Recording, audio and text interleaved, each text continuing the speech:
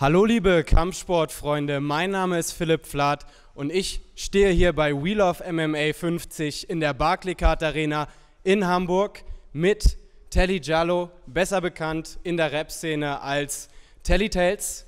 Telly, du hast dir heute dein Profidebüt gegeben vor heimischem Publikum. Glückwunsch zum Punktsieg. Wie fühlst du dich jetzt? Ich fühle mich super.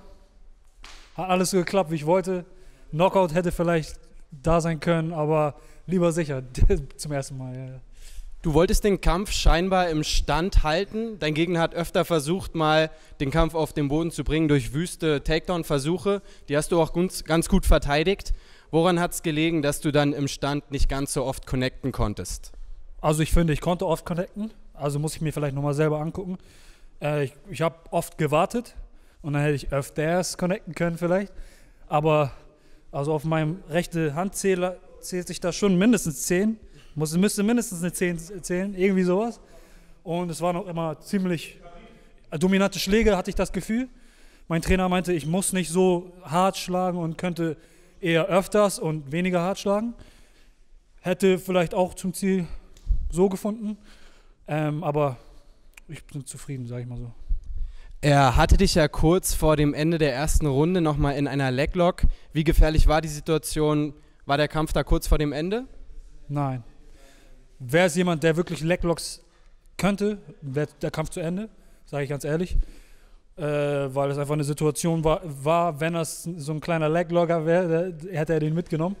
Ähm, ich, hab, ich war nicht schnell genug raus da, besonders dafür, dass er kein Leglocker war, das habe ich gemerkt. Aber er hat halt wüst irgendwas versucht, ne? Aber nein, war nicht fast zu Ende. Nee. Was nimmst du jetzt aus dem Kampf mit? Woran möchtest du vielleicht noch arbeiten? Im Stand definitiv an meiner Kondition und ähm, also ich, bin, ich bin nicht sauer auf mich selber, dass ich so gewartet habe, denn lieber vorsichtig sein, als dann keine Energie zu haben, den Takedown zu verteidigen. Deswegen war ich lieber sauber und äh, sicher. Ähm, Boden muss ich immer trainieren, immer viel weiterkommen. Stand auch, aber Stand ist halt mein Ding so.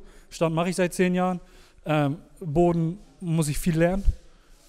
Ähm, aber das heißt nicht, dass für zukünftige Bodenkämpfer, dass ich das einfach gegen mich ist am Boden. Also ich fühle mich wohl am Boden, aber trainieren kannst du immer alles. Teddy, du kommst ja nun aus der Rap-Welt. Wie ist das Gefühl, in den Cage zu steigen im Vergleich zum Gefühl, wenn du bei einem Konzert auf die Bühne gehst? Ziemlich ähnlich, ziemlich ähnlich. Also ich war nicht aufgeregt. Ich habe gegrinst die ganze Zeit, weil endlich, dachte ich, das war das einzige Wort in meinem Kopf, endlich. So, ne? Und so fühlt man sich auch. Also man will performen, ne? Man will da oben stehen und ich weiß, dass ich trainiert habe. Ich weiß, dass ich mein Bestes gegeben habe im Training. Und das Einzige, was jetzt noch äh, passieren muss, ist das, was ich im Training geschafft habe, dass es im Ring klappt. Ne? Genauso wie mit den Rap-Texten, die ich geschrieben habe, auswendig gelernt habe. Wenn du die auf der Bühne vergisst, wirst du genauso bloßgestellt, wie wenn du einen Knockout kassierst oder so. Deswegen ist es ziemlich ähnlich, nur dass du nicht schlafen gehst dann auf der Bühne. Aber du kannst schon mal dich übergeben oder so auf der Bühne. Gott sei Dank mir nicht passiert oder so, aber ähnlich, ähnlich. Wie bist du denn überhaupt zum MMA gekommen? Ähm, ich bin übertriebener Fan seit 2007 oder so. Ich habe bestimmt 80% aller UFC-Kämpfe seitdem geguckt. Also ich bin UFC-Junkie, so richtig, kann ich meine Freundin fragen. Ja.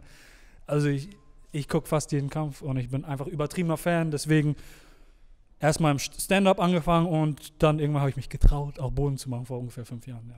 Wenn du sagst, du guckst äh, fast alle UFC-Events, hast du ein persönliches Vorbild? F viele Vorbilder. Ich habe, also John Jones, glaube ich, Nummer eins für mich.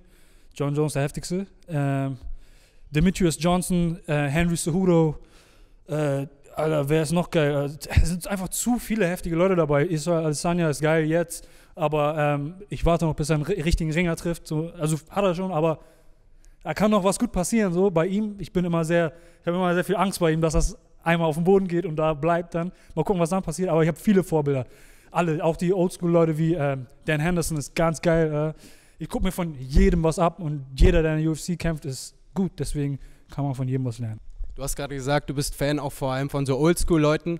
Dein Trainer ist ja auch Oldschool, Abeko Aful. Ja. Wie kam denn eigentlich der Kontakt zustande? Wie bist du zum Evori-Team gekommen? Wie ich da hingekommen bin, also ich habe ihn als den Trainer gesehen in Hamburg, von dem ich am meisten lernen kann, dem ich am meisten vertraue, wo ich sehe, dass er offen ist für äh, offen für jede Technik im Kampfsport, viele Trainer sind festgefahren in einer bestimmten Art.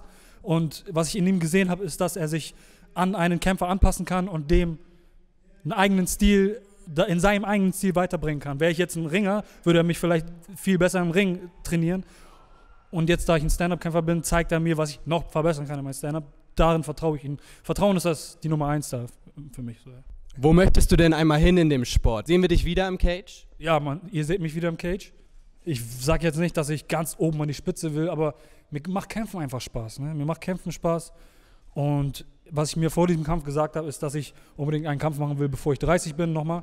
Weil ich habe einfach zu lange gewartet zwischen meinen Kämpfen, die ich schon habe. Ein paar Jahre. Und bevor ich 30 war, bin, nämlich im nächsten Jahr, wollte ich unbedingt nochmal einen Kampf haben. Ich habe Blut geleckt. Ich habe Bock nochmal. Aber ähm, um eine Sache richtig zu machen, richtig gut zu machen, musst du halt 100% geben. Und du kannst nicht so wirklich viergleisig fahren, so wie ich das in vielen Dingen in meinem Leben mache. Deswegen poste ich jetzt zum Beispiel nichts auf Instagram oder so, weißt du, für Musiksachen. Und dann verliert man gleich Follower und so einen Scheiß, weißt du. Und sowas, man muss sich immer um alles in, einem, in einer Sache kümmern. Deswegen werde ich jetzt erstmal wieder ein bisschen Musik machen, dann wieder trainieren und dann mal gucken, wann der nächste Kampf kommt. Wunderbar. Letzte Frage von mir. Gegen welchen Rapper würdest du gerne einmal in den Cage steigen? äh, ey, ich, bin kein, ich bin kein Hater einfach, deswegen will ich gar nicht so auf den mag ich nicht, deswegen will ich gegen ihn kämpfen. Wenn dann den mag ich, deswegen will ich gegen ihn kämpfen, aber ich sehe niemand, wo ich jetzt viel von dem gesehen habe, Rapper-mäßig. Ich weiß nicht, wer von den Rappern macht das eigentlich. Contra K ist ja im Boxsport sehr aktiv. Der ist Boxer, ne? Ich glaube, irgendwas habe ich da mal gelesen, dass er auch MMA jetzt irgendwie trainiert oder so. Ich respektiere ihn als Mensch. Mal gucken. Ich glaube, der ist sogar mein Gewicht. Ich schnack mal mit dem. Erstmal so. Erstmal so. Wunderbar. Vielen Dank fürs Interview. Glückwunsch nochmal zum Sieg.